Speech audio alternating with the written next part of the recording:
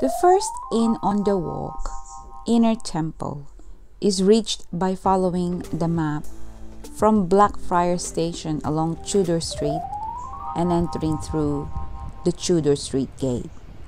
Before the 18th century, the area to the east of Inner Temple was known as Alsatia, a lawless area full of thieves and desperados who frequently clashed with the lawyers who worked and lived nearby.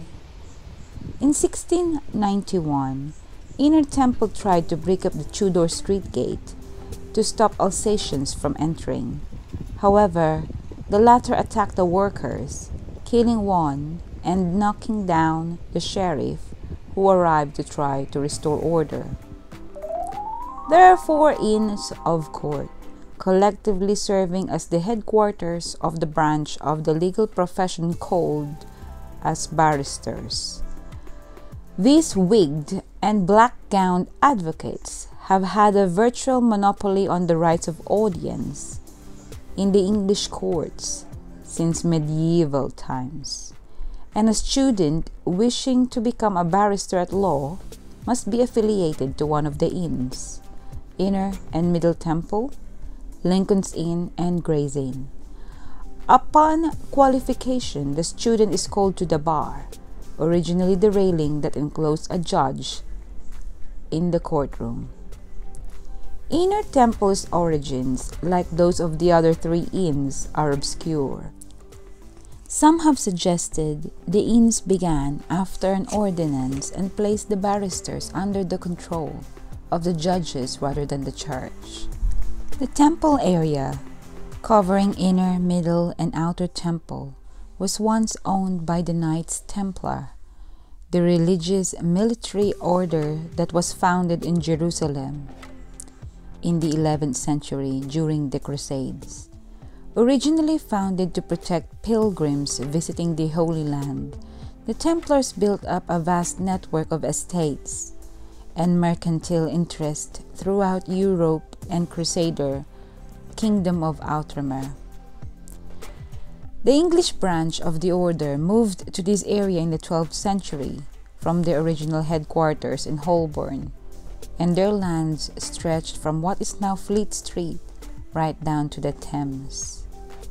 However, from 13th century, a number of European monarchs supported by Pope Clement V decided the Templars were becoming too powerful for their own good and began to persecute them.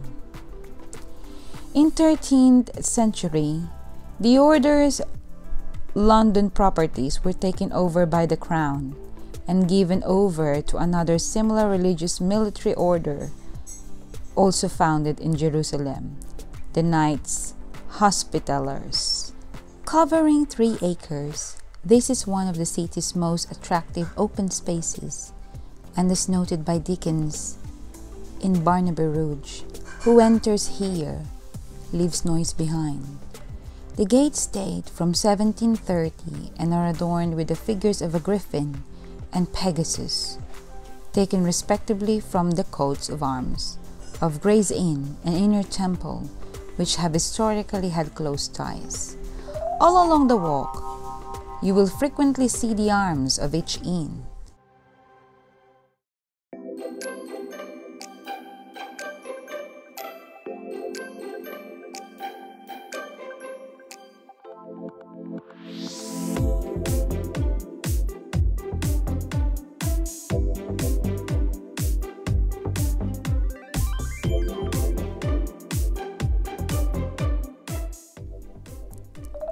Ahead is paper buildings, originally constructed in 16th century, although the current building states from 18th century.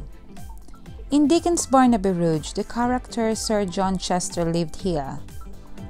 In addition to featuring in many novels, Inner Temple has also had many members who have become more famous as writers, including John Mortimer, Bram Stoker, and possibly the poet Geoffrey Chaucer.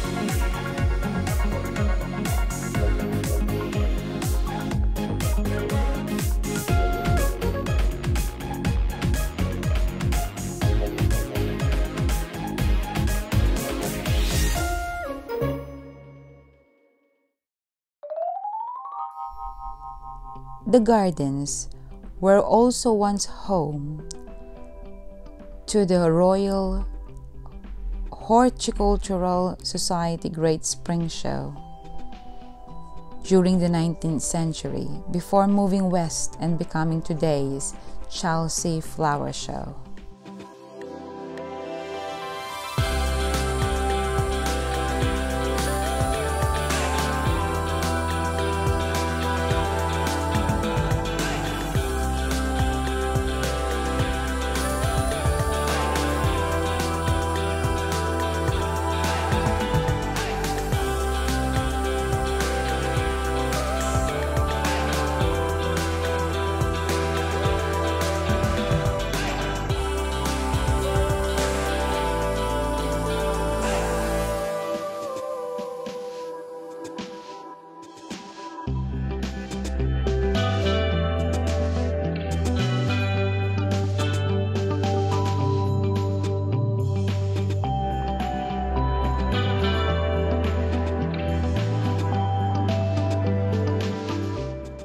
Each inn has its own hall, normally closed to the public, where examinations are held, as well as the ceremonies in which students are called to the bar, and formal dinners. Because back then, students are required to attend a certain number of dinners each year as part of their qualification.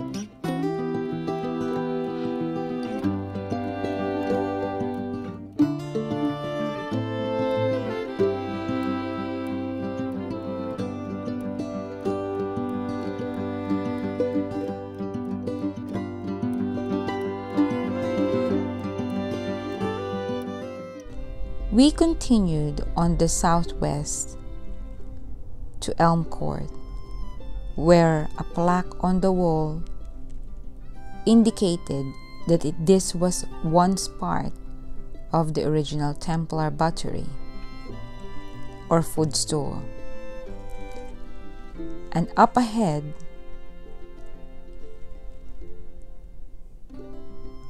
it has been renovated way back in 2016 for a better view.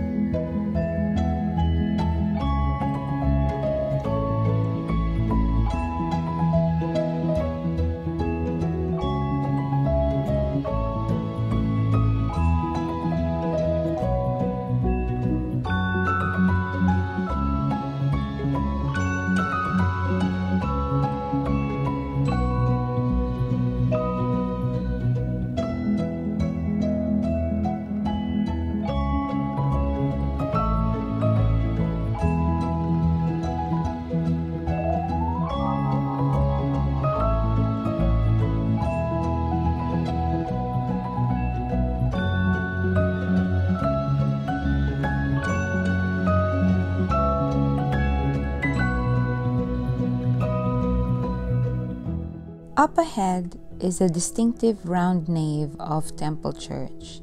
This church is the only substantial remnant of the Knights Templars' occupation of the area and was built by them to resemble the Church of the Holy Sepulchre in Jerusalem. The church, recently featured in Dan Brown's Da Vinci Code, is shared by both Inner and Middle Temple. Despite much rebuilding over the centuries, including after the Blitz, it remains a fascinating place. The 13th century effigies of Templar knights are the most striking feature. There is also a stairwell that contains a former cell where disobedient knights were held and is said sometimes starved to death. Outside the church is a column marking where the Great Fire of 1666 finally stopped on the western side of the city, and the statue of the two knights riding a single horse commemorates the Templars' frugality. The, origi- the order's original title was the Poor Fellow Soldiers of Christ, and the later Templar name was derived from the fact the Knights' first headquarters were situated on the ruins of Solomon's temple in Jerusalem.